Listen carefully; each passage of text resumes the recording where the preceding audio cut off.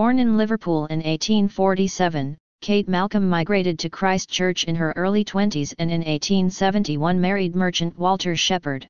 In 1885 she joined the new WCTU, which advocated women's suffrage as a means to fight for liquor prohibition. For Kate Sheppard, suffrage quickly became an end in itself.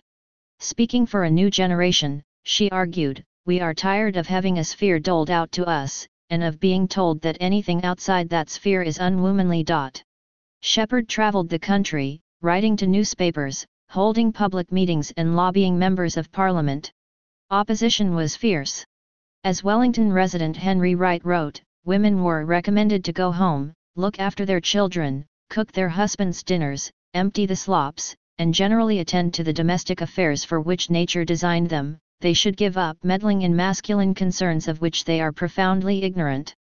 In 1893 Kate Sheppard and her fellow suffragists gathered the signatures of nearly 32,000 women to demonstrate the groundswell of support for their cause.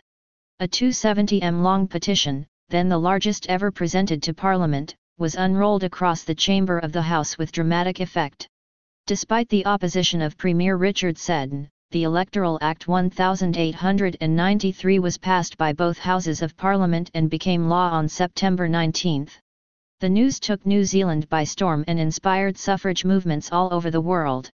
Kate Sheppard continued to work at home and abroad for women's rights, from contraception to freedom from the corset. She became president of the National Council of Women of New Zealand and editor of The White Ribbon, the first newspaper in New Zealand to be owned, managed, and published solely by women. In 1909 she was elected honorary vice president of the International Council of Women. Sheppard outlived two husbands, her only son, and her only grandchild. She died on July 13, 1934, a year after the first woman MP, Labour's Elizabeth McCombs, entered Parliament.